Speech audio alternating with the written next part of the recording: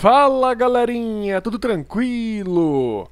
Aqui quem está falando é o Cooper Colored e hoje estou trazendo mais um vídeo para vocês no canal Cooper Colored Games.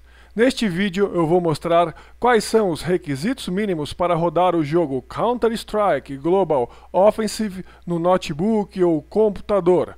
Para isso eu vou usar o site aqui da Steam, vou deixar o link deste site aqui embaixo do vídeo, aqui na descrição do vídeo, é só clicar lá. Vem direto para cá, aqui no site você baixa a barra de rolagem, até encontrar requisitos de sistema.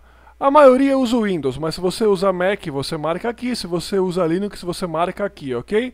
Mas a maioria aí é Windows, então vamos falar de Windows. Requisitos mínimos.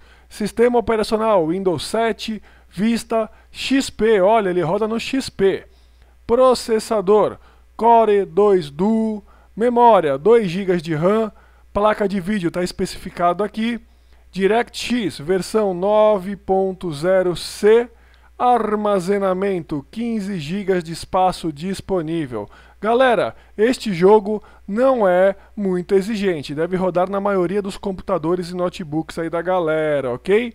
Lembrando mais uma vez, o link deste site está aqui embaixo do vídeo, aqui na descrição do vídeo. É só clicar lá, vem direto para cá e aqui você confere quais são os requisitos mínimos para rodar o jogo Counter-Strike Global Offensive, ok? Espero que vocês tenham gostado da dica. Se gostaram, deixem um like, um joinha, um curtir. Se inscrevam no canal. Valeu, muito obrigado e fui!